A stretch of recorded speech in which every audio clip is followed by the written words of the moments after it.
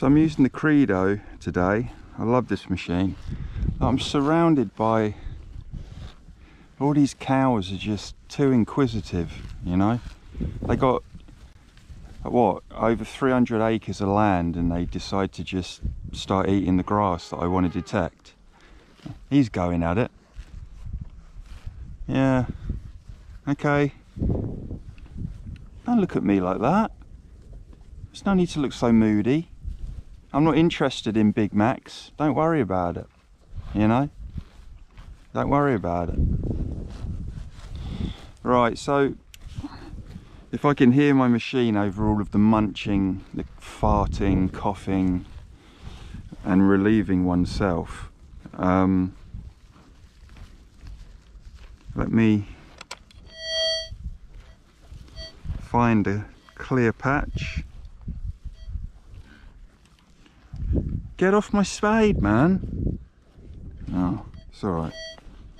So I'm, because this dual 9 coil, I'm going to knock my sensitivity up quite a bit. I'm feeling brave.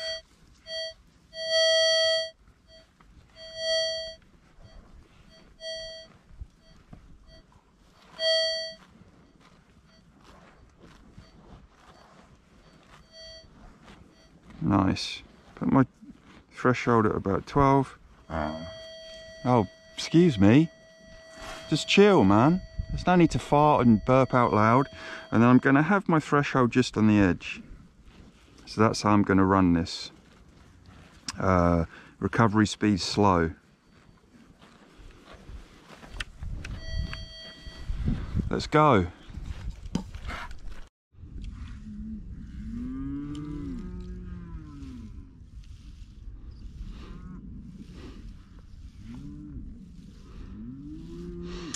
Got a nice one here.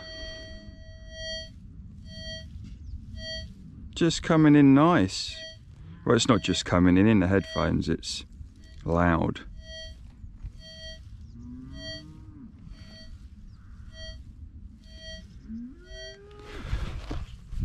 Let's, um, yeah, the cows are gone now, thankfully. Uh, let's go Oh, it's gorgeous to dig because we've had quite a lot of rain. I think the farmers actually cut the grass as well, which is which is nice.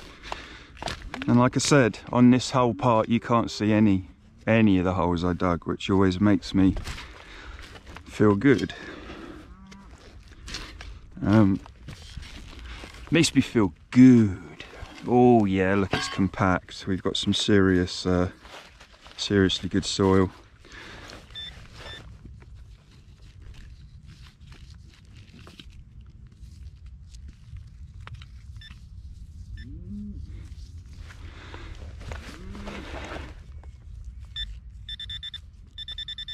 Okay, unnecessarily deep, but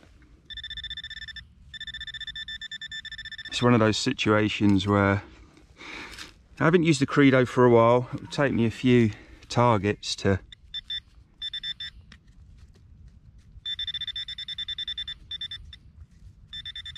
get back into it.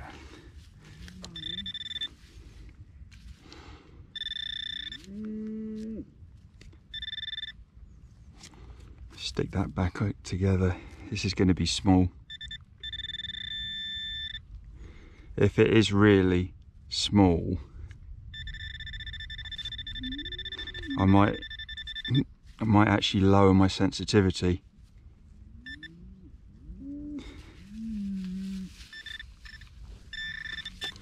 Because yeah, as we've said, or as I've said before,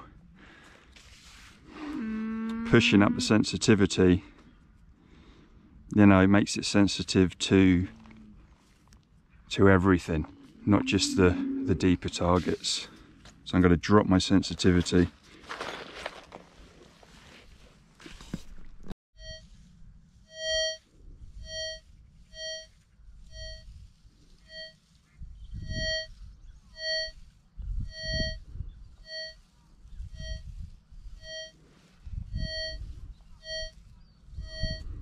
a nice one that is. Let me um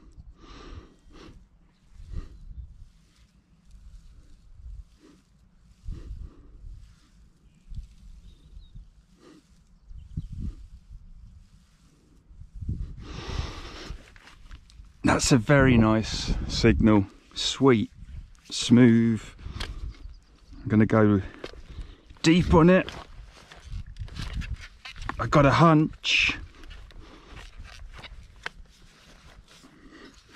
Come on. I hate it when it oh, gets stuck because it puts pressure on my back. I'm becoming an old man. Jesus, I used to gig, tour. I used to play for up to six hours when it came to rehearsals. Uh, but due to the, uh, spent my whole life from the age of 13 playing drums live. It's a shit business, you know. No one's got the X factor. It's bullshit.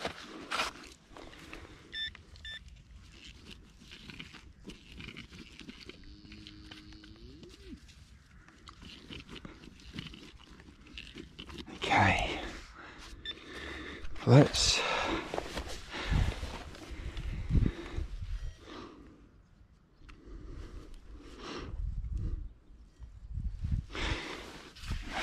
Let me go and get my F19.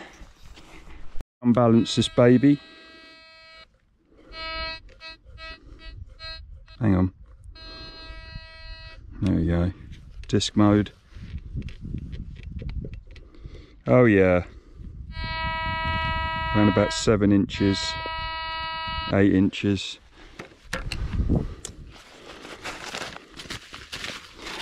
Let us see.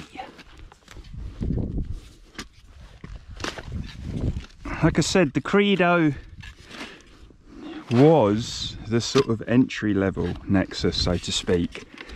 Um, it doesn't have entry level performance and we've also got to remember with the depth of some of the stuff I've dug you know 13 and a half on a small buckle and then there was that other very small thin piece of non-ferrous at about 14 inches under the the iron this is only the dual 9 coil. It's not like it's more of a general search coil than a deep coil so to speak. Um,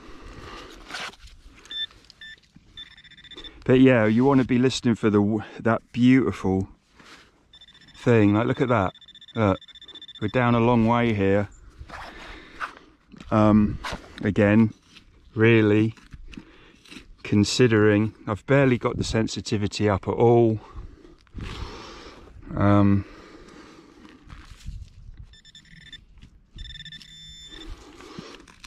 this is whatever it is it don't matter because like I said it's the process. You know and we get used to the process. Um, I really like hello I really like bringing the F19 with me.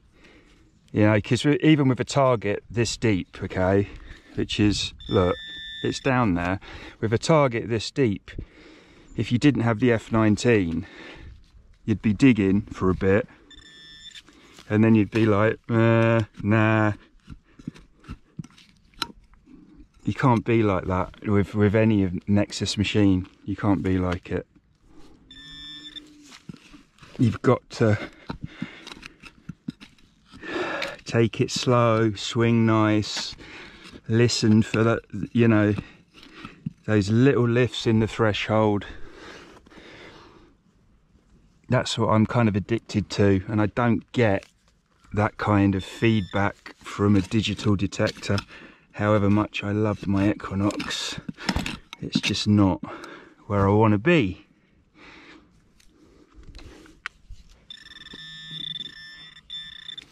Come on man. Ah. dude it's probably going to be bloody a piece of iron in the end isn't it but the discrimination's pretty bang on with these machines.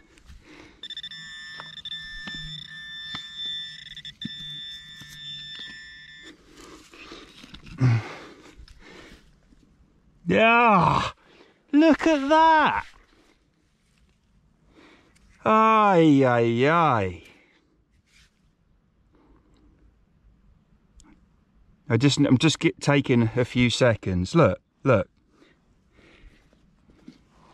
It's a bottle cap.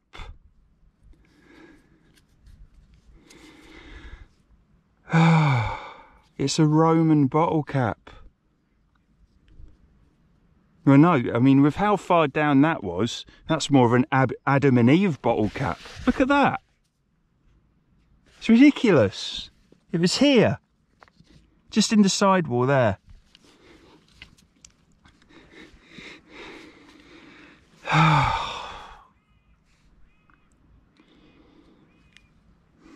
I told you stuff's deep here. Just for the hell of it, shall we measure it? Let me go and get my bag. It's probably going to be my last hole. The cows are buggered off, so I can leave my machines here. Okay, so it was in the sidewall there. That's where it was, there.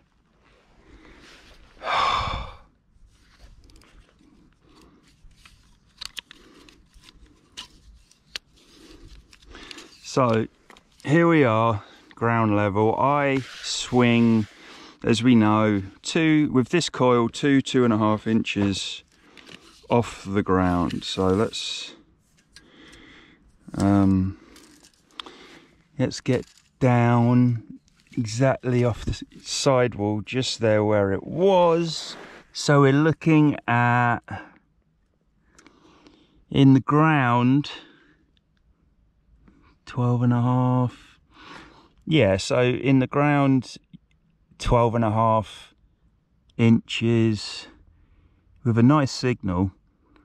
Um, plus two and a half, 12, 13, 14.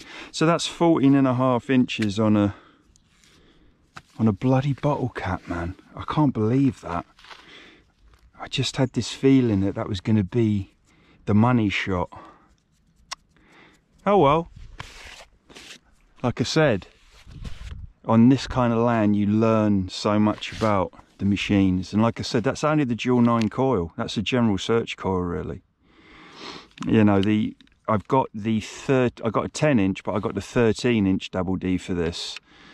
Um, and that will put that will go deeper than than that so if nothing it's it's always a learning experience and it's showing in-field performance which is what the whole point of these videos are. And occasionally we might actually find something good. Cool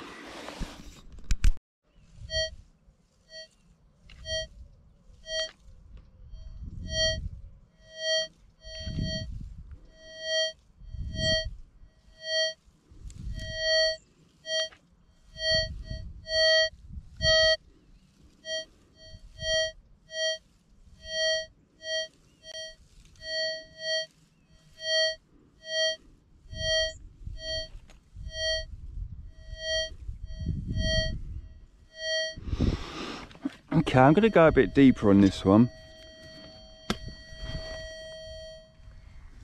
A little bit deeper.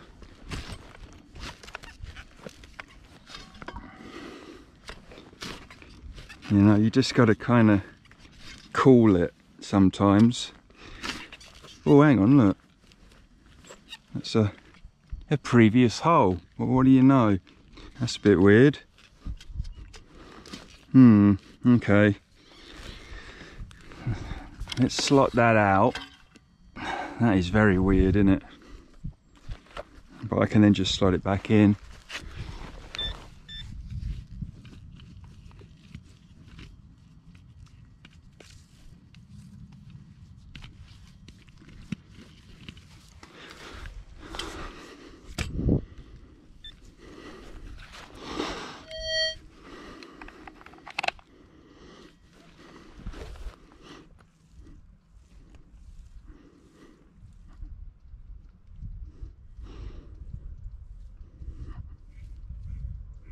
yeah there's definitely something in there let me prise up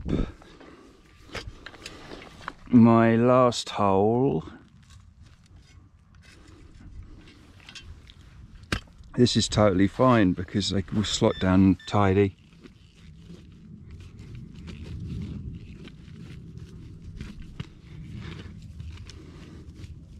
Okay. Let's go and get the F19.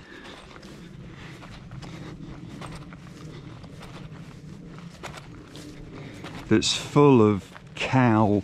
Look, it's ugh, it's absolutely soaking wet because the cows have licked it. Oh well. Whoop.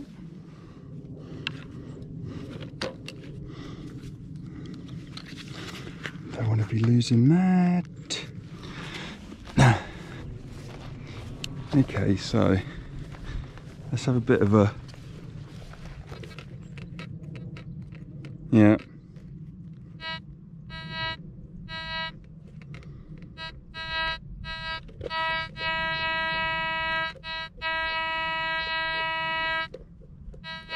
There's definitely stuff there or something there. It says about six, five, six inches.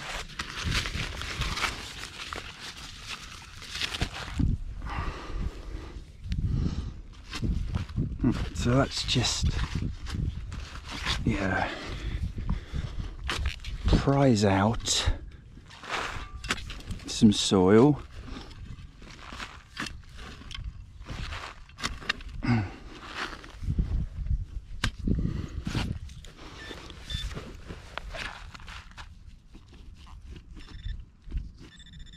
There we are.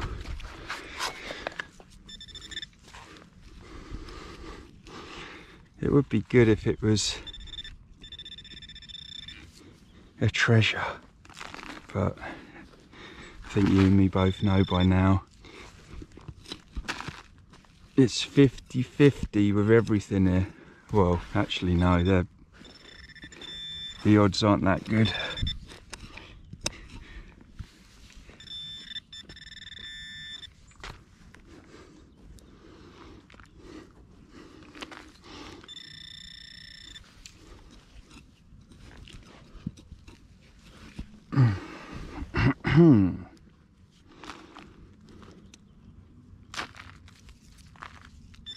But yeah, this is why I like to use my little F19 to pinpoint when I'm using my Nexus detectors, you know.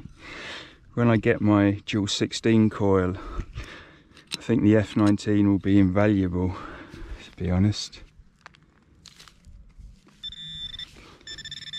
What is it? Come on. Come along. Please don't be a Roman pool tab. That would suck.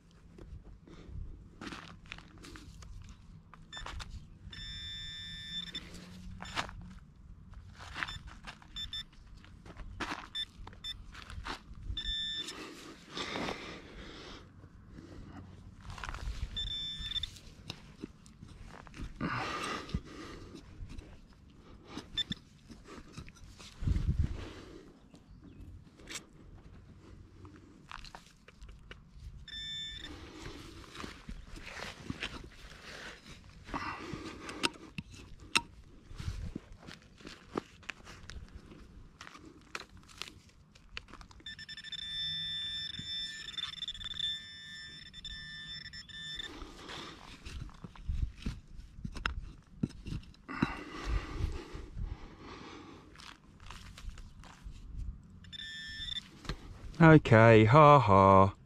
Hardy ha.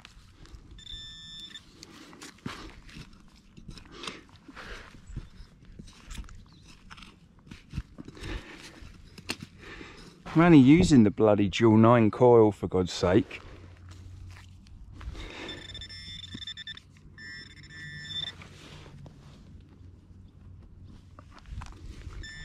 Look, we, we're right down. Is it, maybe it is large or deep iron? No, look at that. Look at that. That is an old buckle. Look at that. Oh, and look at look at that okay so because I'm anal because I'm anal I'm going to measure that. That's fantastic. And that was a that was a strong signal. That was a really strong signal. So let's just put that there. Let's go and get where's my bag? Okay let me turn you off i turn you back on. That's pretty impressive depth okay this is not the credo isn't as powerful as the mp series.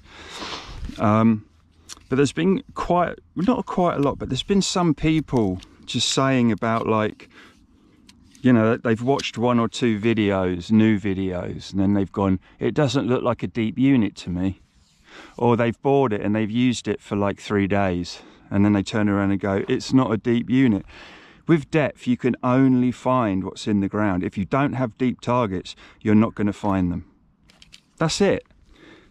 But that is not a big target okay? So let's just i know i'm getting a bit anal here but i just it's only right to do so because some of the nonsensical bollocks that people have been messaging me with, you know, and I don't mean that in a nasty way, I just mean it in a can you just think, please, about things sensibly? Okay, so I am, I'm swinging that about two and a half, three inches off the bottom. Now let's let's do that. So that is in the ground. What are we looking at? That is about 11 and a half inches, fraction under 12. So 11 and a half inches in the ground and then add another two and a half, three, 11, 12, 13. So I hit on that little buckle at about 13, 13 and a half inches in total. Yeah, because that would put me, hang on a minute. So that would put me about there, which is, yeah, kind of how high, yeah, yeah, that I'm swinging. Okay, so that's not super deep, but that's still a pretty good result. Look, it's just oh, it's like living in London. It's like being back up in London with people just kind of crapping where they're standing. This way he looks a bit miserable, doesn't he? Yeah, I wanted to try to get the end of that. Just he seemed so chilled out whilst he was going to the loo. I wish I could master that kind of zen when I'm on the toilet. Yeah. Okay. Let's plug my wireless thing in, put my earphones on, and hopefully I can detect without getting dry humped uh, by a cow. Got two here. I think that's shallow aluminium because it breaks up when I put the iron reject on. But here,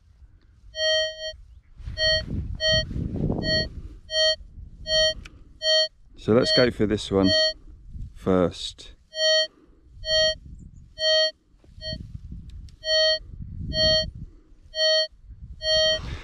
And this one's obviously a little bit deeper. You can tell by the softness in the audio.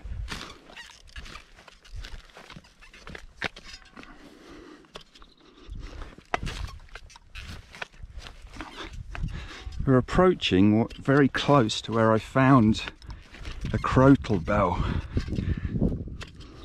Uh, with I think with the Credo actually I found it. I did. That day I was using, I think I was using the 13 inch double D coil that day. It's quite deep, about 14 inches or so.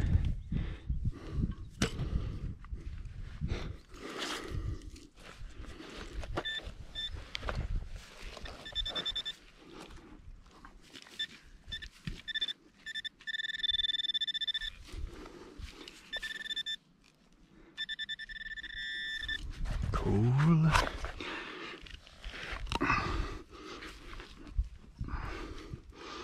Come on.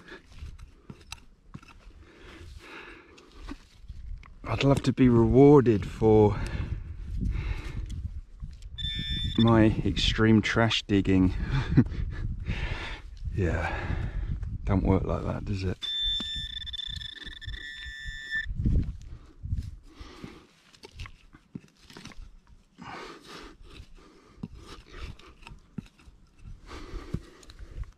Come on. It's at the depth that I would expect something. What is this?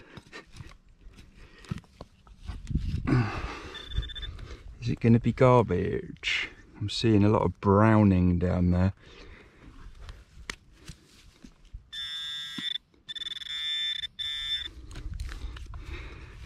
Hey ho we take it as it comes.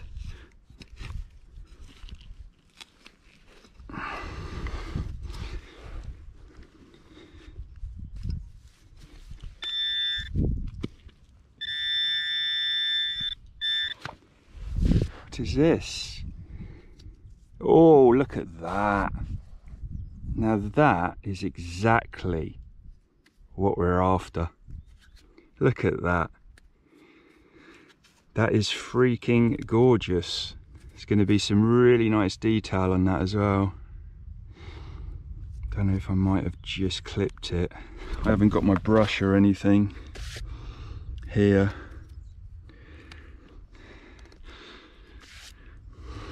See, and this is my whole point about this part and this farm, you know. I'm sure a lot of people would just wouldn't bother. They'd just give up because of all the trash. But you can't do that, man. You just got to keep going. Metal detecting, metal detecting is not, oh, that's got really nice decoration on. Second buckle, that I won yesterday. Yeah, metal detecting is not, um, you don't pay your money and, and go home with your hammered. Do you know what I mean? We, we live in such a instant society you know like if we want something to eat we press a button and the doorbell goes you know if we if we see something that we want online we press a button the doorbell goes and it's delivered and i think everyone gets so used to this kind of i pay my money uh, and i get what i want i'm clicking you know to sort of like point out the instantaneousness of everything but you can't you just metal detecting just doesn't work that way you know, just because you pay money to go on a group dig, it doesn't mean that gives you the right to dig, you know, 72 hammer coins. It just doesn't work like that, you know. Somewhere down the line though, yeah, things are getting blurry. You got good land, you're going to dig good stuff. Whatever machine you've got. You got shit land, you're not going to dig stuff that's that great you know and it doesn't matter what machine you've got I know it's common sense but yeah there's not much of that around nowadays but look at that that's freaking lovely that's got really really lovely lovely detail on it very pleased with that down there a little ways I'm going to clean it. It does look like I've just nicked it. Only a very, very fraction. Fraction. Blah, blah, blah.